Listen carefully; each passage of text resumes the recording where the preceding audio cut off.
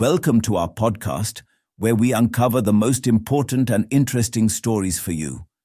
In this episode, we will discuss a Tasmanian devil dead star showing signs of life months after its explosive end.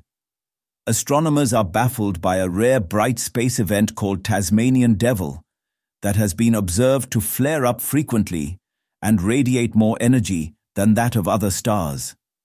This dead star is about 1 billion light years from Earth.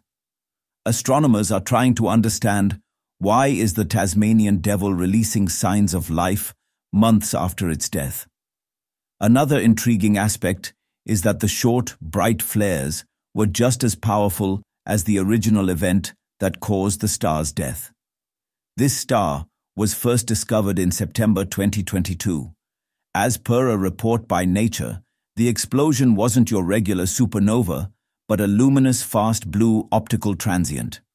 Such an explosion is known to emit a bright blue light, reaching the peak quickly and fading within days. Amazingly, instead of fading steadily as one would expect, the source briefly brightened again, and again, and again, lead study author Anna Y.Q. Ho said. LFBOTs are already a kind of weird, exotic event, so this was even weirder, she added. An event like this has never been witnessed before, said co-author of the paper Professor Jeff Cooke from Swinburne University of Technology and the ARC Center of Excellence in Gravitational Wave Discovery. He helmed the observations using WM Keck Observatory in Hawaii as part of this work.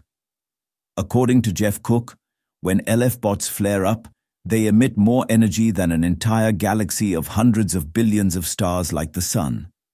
He adds that the mechanism behind this massive amount of energy is currently unknown. But in this case, after the initial burst and fade, the extreme explosions just kept happening, occurring very fast, over minutes, rather than weeks to months as is the case for supernovae. Amazingly, Instead of fading steadily as one would expect, the source briefly brightened again and again and again. Cornell University Assistant Professor Anna Ho, lead author of the paper, said, The LFBOT event which occurred is baffling, said Professor Cooke. It pushes the limits of physics because of its extreme energy production, but also because of the short duration bursts. Light travels at a finite speed.